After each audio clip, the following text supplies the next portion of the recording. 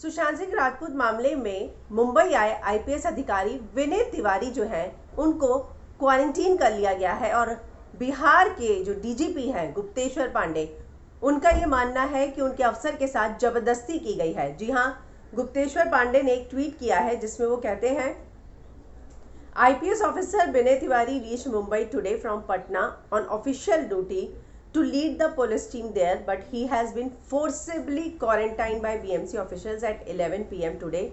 He was not provided accommodation in the IPS mess despite request and was staying in a guest house in Goregaon.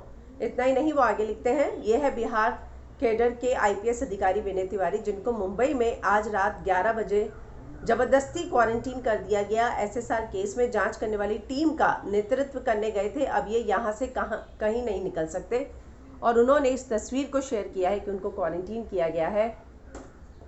साथ ही एक video share किया है।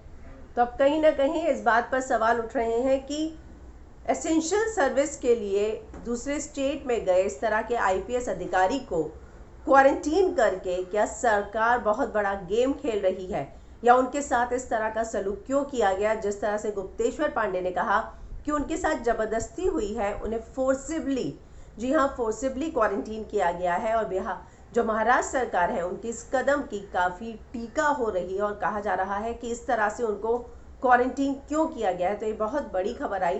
रात को हमने आपको सबसे पहले बताया कि किस तरह से उनको जो है क्वारंटीन किया गया। उन्होंने एक इंटरव्यू भी दिया जिसमें उन्होंने कहा कि बीएमसी अथॉरिटीज़ आई थी, मुझे क्वारंटीन किया गया है और मैं जो है अप्लाई करूँगा, लेकिन जब तक मुझे एग्जामेशन नहीं मिलती है, तब तक मैं मूव कहीं नहीं करूँगा।